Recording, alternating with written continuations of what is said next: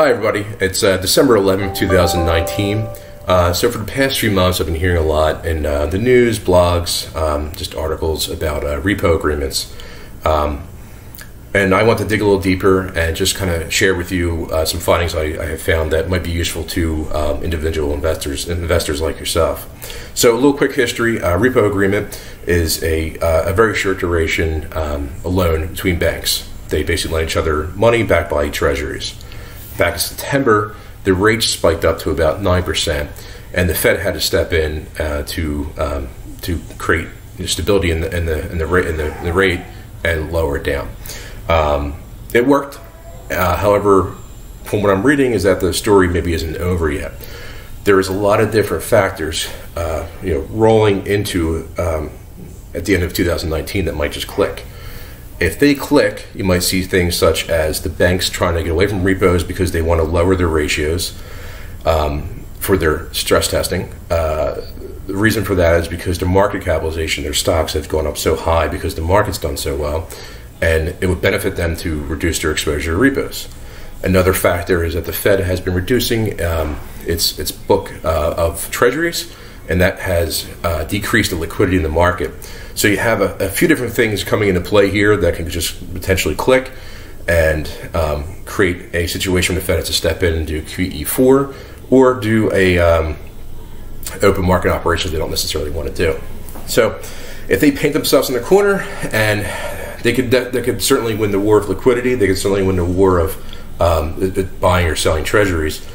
But the but the, the, they win the battle rather. But the war is can they maintain the inflation where they want it to be? And is the stock market going to chug along the way it has been the last 10 years? So, a few things. One, uh, corporates, um, corporate bond issuance has been a main driver uh, of the stock market growth the last couple of years. The reason for that is because companies have been borrowing at very low rates and, in turn, uh, retiring stock by repurchasing, repurchasing their shares.